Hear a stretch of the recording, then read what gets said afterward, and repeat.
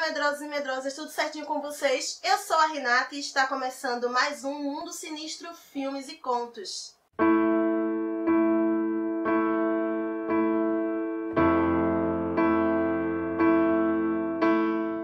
E hoje estamos iniciando um quadro novo aqui, gente, no canal, que é o lado negro dos contos de fadas. E a primeira história que nós vamos contar aqui vai ser a da Bela Adormecida, ou seja, da princesa Aurora.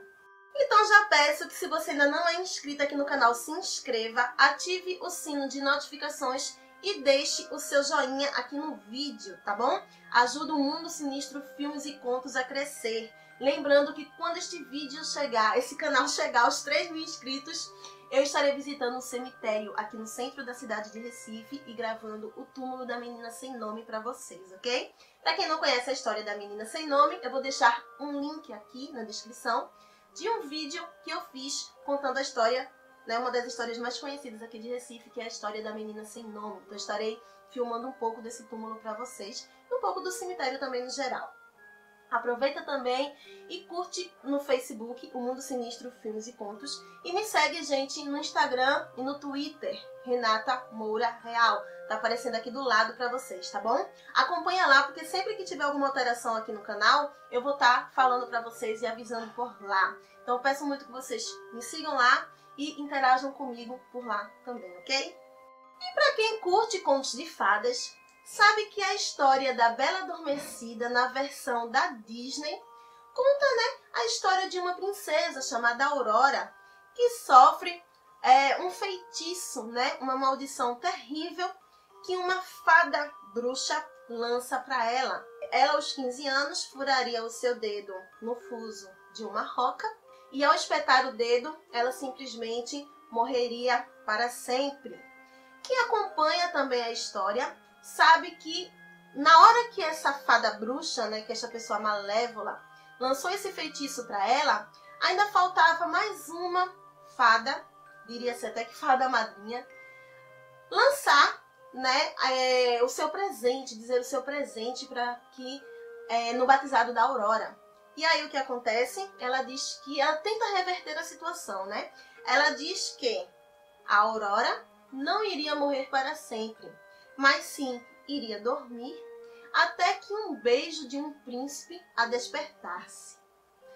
E que também todas as pessoas do castelo dormiriam junto com ela, para que quando ela acordasse, as pessoas que ela ama estivessem por ali também. Até que um certo dia, um príncipe né, que está passeando, está andando lá pelo reino, encontra esse castelo. E ao entrar, ele encontra todas as pessoas dormindo. Até que ele chega ao quarto da Aurora e vê aquela né, bela pessoa, formosa, dormindo.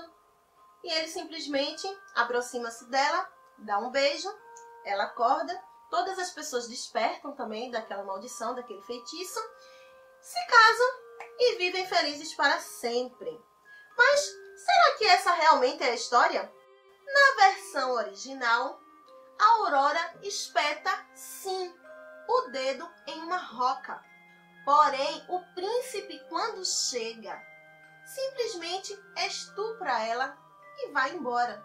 A Aurora engravida e dá à luz enquanto dorme. Detalhe de gêmeos. Ainda na versão macabra, a princesa acorda quando os seus bebês, morrendo de fome, chupam o seu dedo e conseguem retirar uma parte, né, um ninho da roca que estava espetado em seu dedo. Já na segunda versão macabra e mais sinistra dessa história, a Aurora acorda assim e, para o seu desespero, os recém-nascidos estão comendo a própria carne da mãe. Isso mesmo, o corpo da princesa Aurora. Gente, tem coisa mais sinistra do que isso.